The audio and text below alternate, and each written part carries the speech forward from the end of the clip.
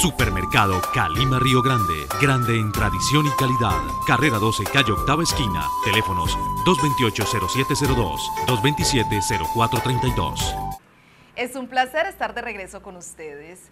Para el director nacional de gestión del riesgo de desastres, Carlos Iván Márquez, marzo pondría punto final a la intensa sequía que padece Colombia como consecuencia del fenómeno del niño.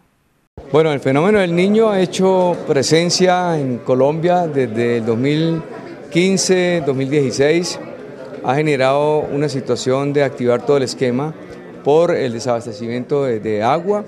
Eh, empezamos en un momento a tener eh, efectos en más de 326 municipios. Hoy ya estamos en 86 por los esquemas que se han dado de prevención y atención.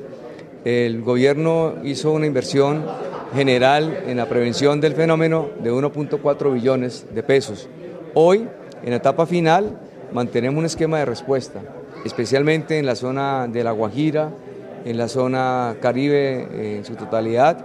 Se mantiene eh, atención especial en zonas como los Santanderes, en la zona del eje cafetero, eh, Caldas específicamente, y se continúa con un esquema aún sin bajar la guardia de prevención contra los incendios forestales. Hoy hay ocho incendios forestales activos causados por la mano del hombre.